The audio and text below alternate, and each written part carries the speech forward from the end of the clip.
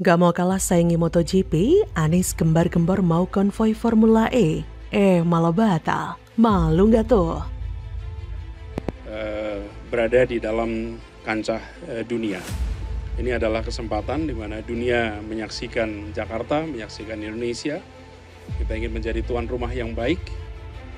Masih sementara bahwa kemungkinan tidak pawai, tetapi mobil-mobil itu akan dipamerkan di area di dalam Monas. Tapi untuk kepastiannya hari ini kita akan ketemu dengan uh, pihak panitia Formula E untuk memastikan tentang kegiatan yang akan dilaksanakan pada hari Kamis. Ya pelaksanaan kan belum ada persetujuan dari FAO. Kemudian kalau itu benaran tidak jadi, siapa yang mengembalikan tiket yang sudah dibeli masyarakat? Uangnya ke mana? Siapa yang bertanggung jawab? Ketua Panitia Penyelenggara Formula E Ahmad Sahroni mendadak mengumumkan pembatalan konvoi dari mobil Formula E di kawasan Monas Gambir, Jakarta Pusat sebelum ajang balap mobil bebas emisi itu dihelat 4 Juni 2022 mendatang. Padahal, dua hari yang lalu, politisi Nasdem berjuluk Sultan Tanjung Priok itu sudah gembar-gembor ada agenda konvoi. Adapun konvoi itu digelar sebagai ritual yang menandakan bahwa ajang balap Formula E Jakarta segera dimulai sebagaimana yang dilakukan pemerintah saat menggelar MotoGP beberapa bulan lalu.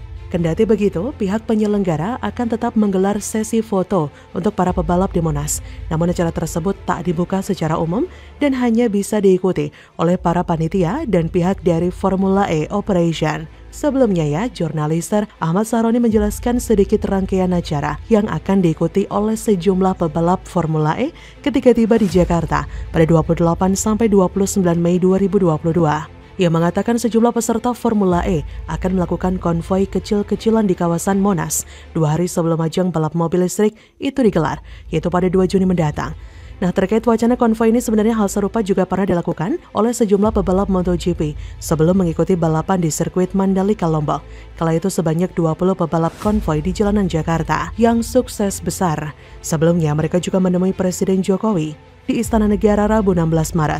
Hingga akhirnya setelah selesai sesi foto bersama, para pebalap beriringan sepanjang jalanan ibu kota dan menuju kawasan Hotel Indonesia sambil menyapa para penggemar yang telah menanti di sepanjang jalan. Jika melihat konvoi yang dilakukan oleh para pebalap MotoGP, seperti halnya menyambut tamu negara atau menyambut idola yang telah dinanti oleh para penggemarnya, memang banyak dari pebalap MotoGP yang begitu tersohor namanya. Puluhan bahkan sampai ratusan warga di Jakarta bersorak-sorai dan senang luar biasa pada parade atau konvoi para pebalap MotoGP yang akan mengikuti seri MotoGP Mandalika kala itu. Sepanjang rute jalanan Jakarta yang dilalui oleh konvoi dipenuhi warga dari berbagai kalangan, baik orang yang berkantor di sekitar area, pengemudi ojek online bahkan hingga anak-anak sekolah. Suasana makin pecah ketika Mark Marquez melakukan sedikit atraksi dengan motornya.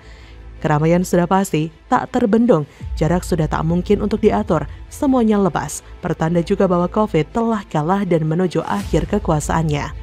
Serasa cukup adil ya kalau kita harus berterima kasih kepada Bapak Presiden Jokowi atas keberhasilan dan kerja kerasnya membuat ini semua bisa terjadi. Tapi lain halnya dengan ajang balap mobil listrik Formula E yang rencananya bakal dibuat persis sama dengan MotoGP besutan Jokowi. Eh ternyata gagal total.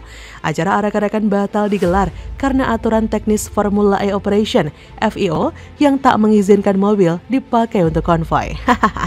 Begitulah jika sebuah program cuma didasari dengan tipu-tipu saja dengan dalih menjadikan Formula E bisa mendongkrak kesadaran masyarakat dalam hal pentingnya energi hijau bagi masyarakat, tapi gagal akibat kecerobohan panitia penyelenggara dalam membuat statement.